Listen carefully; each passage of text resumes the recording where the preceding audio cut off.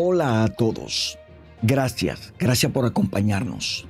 Hemos estado esperando una gran cantidad de gente, pero parece que la mayoría lo que anda buscando es noticias de bagatela, no noticias de calidad. De todas formas, agradezco el que ustedes vengan a hacernos el favor de escucharnos un ratito aquí cada vez que subimos una información analizamos con ustedes la problemática en diferentes vertientes y fuera de, de la chercha informativa que se viene dando últimamente en la prensa dominicana. Hoy quiero hablar de la reforma de la policía dominicana como una meta obligada. Efectivamente, y cueste lo que cueste, debe penetrarse en el funcionamiento de la policía hasta llegar a los puntos de partida de las inducciones a actuar brutalmente con subordinación de tropas a órdenes superiores y tendencia a matar sin protocolos. La meta es evitar víctimas inocentes. El método escogido para proceder es apropiado y reúne en comisión capacidades para trazar camino hacia la profesionalidad y el respeto a los derechos humanos. La policía dominicana necesita una redefinición de roles inspirada en criterios éticos, legales y técnicos que pueden muy bien ser puestos en primer plano por la Junta que al efecto ha sido conformada. Nació en cuna cuartelaria y es evidente que aún contando con oficiales académicos y clases distanciados de los esquemas de arbitrariedad de una dictadura, en la Policía Nacional Dominicana quedan alineaciones y compulsiones del pretérito influyendo en actuaciones. En mayor medida incluso que los cuerpos armados de la República, cuyos mandos posteriores a Trujillo, al balaguerismo y a la guerra de 1965 han procurado la apoliticidad no deliberante que reduce conflictos con la colectividad. Poniendo énfasis en la capacitación para servir a la nación y contribuir a la convivencia, no cabe duda que los policías, obligados a proteger ciudadanos y combatir el crimen, pueden ser llevados a la calidad de desempeño que se necesita aprovechando la actual parte valiosa de sus filas.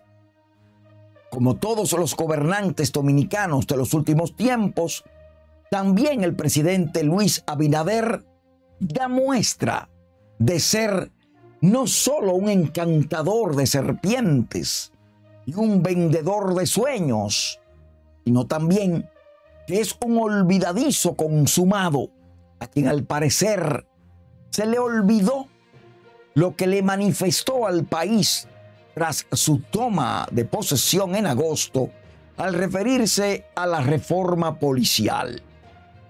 En ese entonces, este malabarista presidente dijo, Emprenderemos una reforma integral de la Policía Nacional que promueva cambios en la cultura institucional, impulse la profesionalización y tecnificación del servicio, mejore las condiciones laborales de nuestros agentes y dé una mayor eficacia de los servicios policiales. Esas fueron las palabras del presidente Abinader el pasado 16 de agosto a la Nación. De ahí aquí no se ha visto mucha cosa, porque el presidente vive en un limbo, se ha metido a figurín, y como los pasados presidentes, y muy cerca de Hipólito, también se ha convertido en un gran hablador, en un hombre que no sostiene palabra, que no mantiene lo que dice, y lo demuestra. Este comportamiento indebido de una parte de la Policía Nacional Dominicana, que bien se pudo haber pulgado con tiempo para sanear y elevar la profesionalidad de nuestros agentes, porque no todos están podridos. Es una minoría que le viene haciendo daño a la institución. Una reforma de la institución policial de la República Dominicana sería conveniente para el país, pero una reforma real, donde la corrupción en las fuerzas de seguridad no siga obstaculizando por más tiempo la lucha contra los grupos del crimen organizado. El año pasado, el Barómetro Mundial de Corrupción para América Latina y el Caribe, Transparencia Internacional, halló que la policía era una de las instituciones más corruptas de la región. En la República Dominicana, el 47% de las personas que tuvieron contacto con la policía en el último año tuvieron que pagar algún soborno.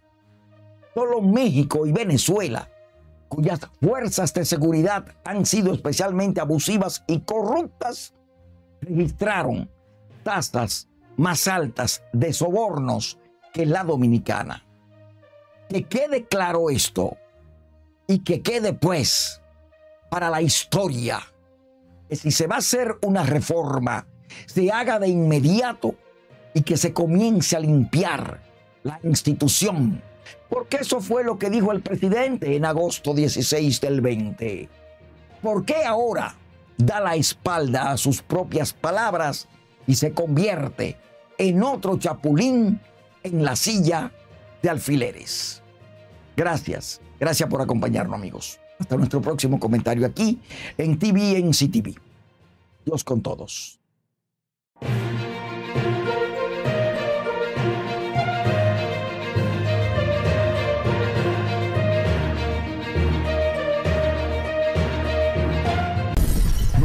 Suscribirte en nuestro canal de YouTube. Es fácil y rápido. Recibirás información clara y precisa de acontecimientos informativos de nuestro país Realizamos un periodismo ético y creíble que puedes compartir con tus amistades. Suscríbete ahora y dale clic a la campanita. Síguenos para que no te cuenten. Juntos somos más. Comparte con tus amigos, síguenos y riega la voz. Juntos somos más. Periodismo para gente ocupada, como debe ser.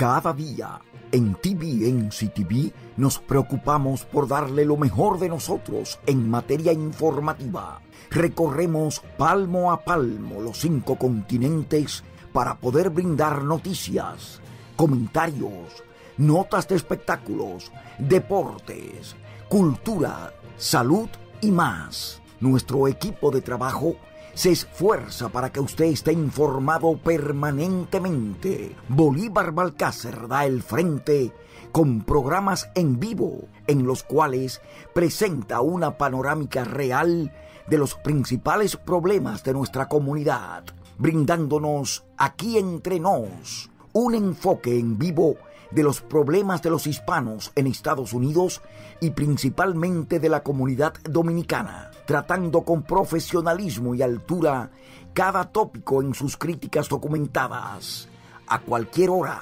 cualquier día y en cualquier momento, en vivo, como debe ser.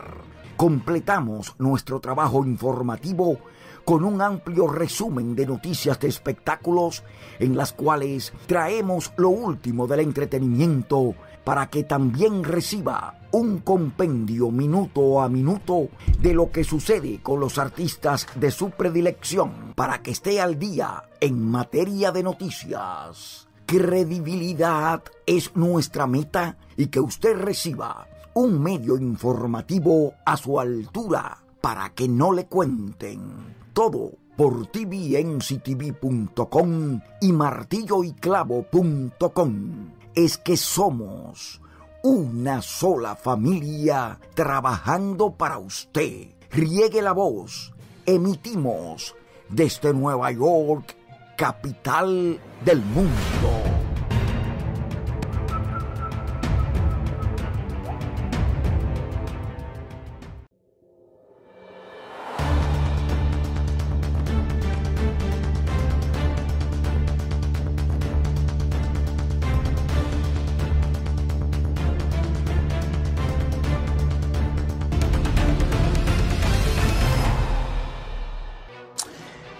Gracias. Recuérdense nuestra página oficial tvnctv, tvmctv.com.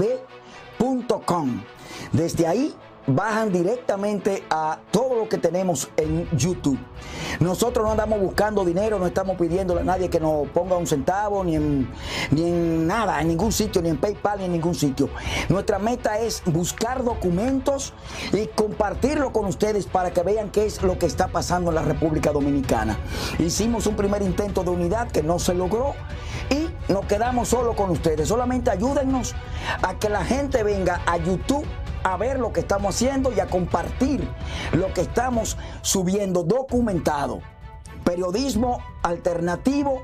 Nosotros no tenemos compromiso con nadie, ni con PRD, ni con PRM, ni con Reformistas, ni con Guardia, ni con nada. Nosotros tenemos un compromiso con la patria.